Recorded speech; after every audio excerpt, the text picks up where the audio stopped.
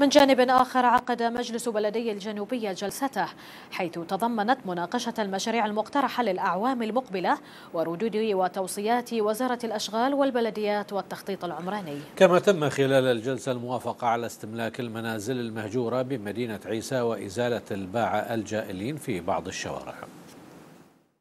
ناقش المجلس البلدي للمنطقة الجنوبية في جلسته اليوم عددا من المشاريع والتوصيات. من أبرزها الموافقة على إعادة استملاك البيوت المهجورة في مدينة عيسى وتحويلها إلى وزارة الإسكان للاستفادة منها. بالإضافة إلى الموافقة على توفيق أوضاع الباعة الجائلين في بعض المناطق بالمحافظة بحيث يتم ضمهم إلى الأسواق المركزية القريبة منهم.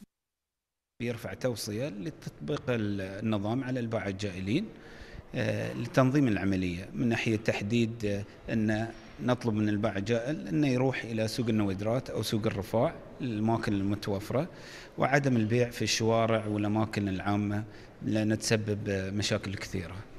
كذلك اطلع المجلس على المشاريع التي تم تنفيذها خلال العام الجاري 2016 بالإضافة إلى المشاريع المقترحة للأعوام القادمة ومن بينها عدد من الحدائق العامة في الرفاع وحديقة مرفأ الزلاق وجسر للمشاة بين الرفاعين. تطرقنا إلى بعض المشاكل الموجودة كمشاكل الباع الجائلين ومشكلة آه، السكراب.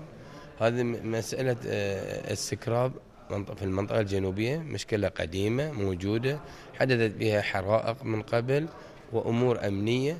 فارتأينا في المجلس أن من الأفضل أن وضع معايير أمنية آه، زائدة حتى لا تتكرر هذه المشاكل التي هي من ضمنها الحرائق اللي حدثت والسرقات ولمعرفة ما هي الأشياء المكدسة والمخزنة في هذه الأراضي.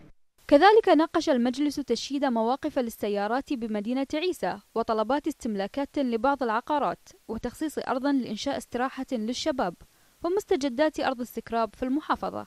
أمل المرزوق لمركز الأخبار تلفزيون البحرين.